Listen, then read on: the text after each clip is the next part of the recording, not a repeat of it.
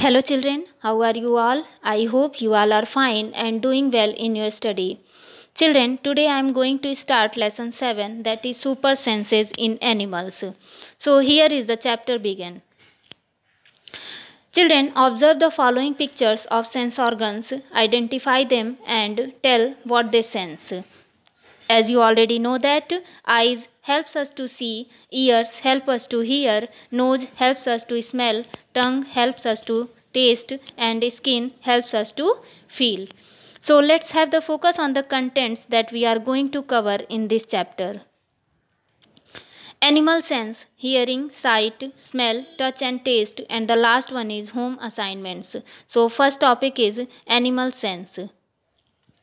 Children, before going to explain this topic, just listen very carefully. I want to tell you something more about that.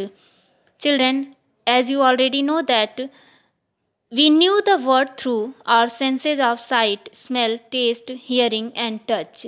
These help us to enjoy our food, listen to music, see and feel things and recognize different types of smells. In other words, our senses help us to understand the world around us. So, like humans, animals also have sense organs.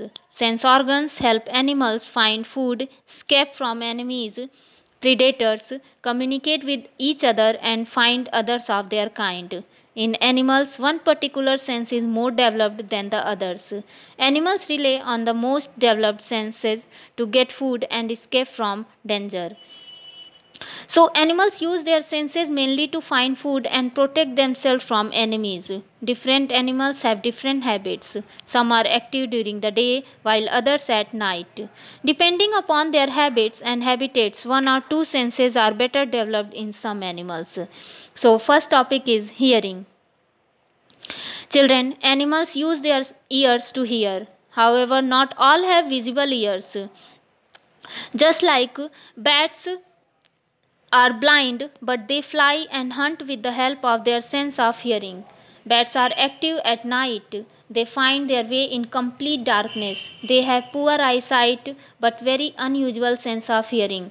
They hunt at night and squeak as they fly. The squeaking sound which is produced when it is it strikes the objects bounces off and comes back to the bat helping it to identify where the food is as you can see in the diagram. They produce high pitched sounds. The echo of these sounds helps them to locate food or sense danger. This is a biological sonar system called echolocation. Similarly, whales and dolphins communicate with one another and make sounds that is known as songs. Whales and dolphins can tell the location, size, direction and even the physical nature of an object. Another example is elephants also have much stronger sense of hearing than we do. They can detect very low sounds. They also use their trunk and feet to hear. Children, read page number 49. You can well understand with this topic. Next example is a tiger's sense of hearing is very sharp. They can make out the slightest sound made by an animal moving on the grass. Dogs can hear sounds beyond the range that we human can hear.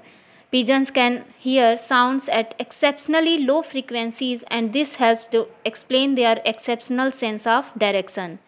Next topic is sight. Children, Eyes have lens that help us to see. When we see something, the lens in each eye forms an image on the back of the eye. This sends a message to the brain. The brain reads the message and tells us what we are seeing. Birds have powerful eyesight because their eyes are bigger as compared to the size of their heads. Their large eye produce a large image that helps them see even while they are flying. Birds have a sharper vision than other animals. Our eyes can detect a fraction of the colors that birds can see. Birds of prey like eagles have keen eyes. They can see the objects from a much greater distance human do. We call people with good vision eagle-eyed. Children, have you ever ob observed the glowing eyes of a cat in the dark? Yes, Cats have a special layer at the back of their eyes. It is this special layer in the eyes that glows. This helps them pick up the faintest, means dim light. So, pick up the faintest of light and see better in dark. Another example is penguins have a clear vision underwater. Fish can see in air and water simultaneously. Each eye is divided by flaps so there is one opening in the air and one in the water. Next topic is smell. Children, many animals have a keen sense of smell. Dogs in particular have an excellent sense of smell. They can find hidden things by their sense of smell. They are trained by the police to find criminals, missing people, illegal substances and dangerous bombs. Just like bloodhounds have an excellent sense of smell, they can distinguish between different human odors. Odors means smell. They can follow a scent trail left long before. This is how they track missing children, escaped prisoners, and criminals. Ants have also a special sense organs called antennae on their heads that they use to smell, to find their way, and to follow each other. So you can do one experiment through see this activity. Drop a sugary food on the floor. After some time you will find a trail of ants around the food source. Ants cannot see well. They find food only when they come close enough to smell it. Ants leave scent trails that is also known as formic acid behind them for other ants to know exactly where to find the food source. And that is why you always see a trail of them. Next topic is touch and taste. Children, the tongue is vital for tasting food and for talking.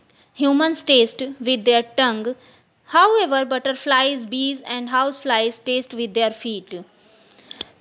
However, snakes touch and taste. Snakes do not have external ears. They cannot see or hear. They rely on their sense of touch and smell. Snakes slither along the ground on their bellies, smelling with their tongues. They find their prey by feeling the vibrations caused on the ground by the movement of their prey. Some snakes have special sense that helps them detect minute changes in temperature and locate warm-blooded animals. Warm-blooded animals are animals like mammals and birds have body temperature that usually stay the same. Children, have you ever tried to stomp on a cockroach? What did you observe? How does the cockroach protect itself? Yes, here is another example of cockroach and cricket. Cockroach and cricket have hairs on their bodies which can pick up the faintest change in their environment.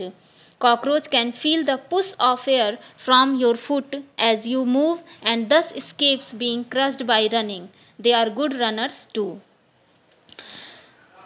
Here I am going to give you some more example.